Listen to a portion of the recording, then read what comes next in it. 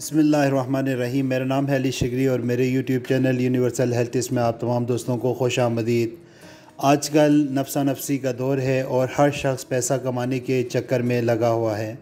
लोग पैसा चाहे हलाल तरीके से हो या हराम तरीके से बहुत ही मेहनत के साथ अपनी ज़िंदगी और अपनी सेहत को दाव पर लगा कर कमाने की कोशिश करते हैं।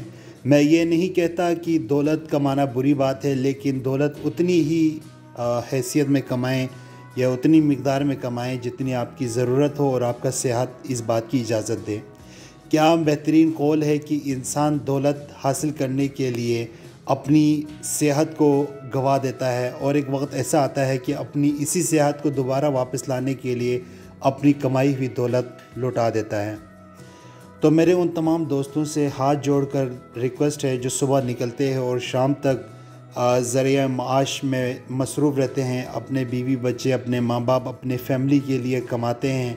तो उनसे मैं हाथ जोड़ के दरख्वास्त करता हूँ कि वो अपनी सेहत का ख्याल रखें। अपने जिसम में जो विटामिन और प्रोटीन्स की कमी है, उसको पूरा करें। आप केले का इस्तेमाल ज़्यादा से ज़्यादा करें। मुख्तफ फ्रूट्स का इस्तेमाल किया करें। महँगाई का बहुत दौर है, मैं ये नहीं कहता कि यार हर दिन या हर हफ़्ते खाएँ, लेकिन महीने में एक बार मछली का गोश्त इस्तेमाल करें।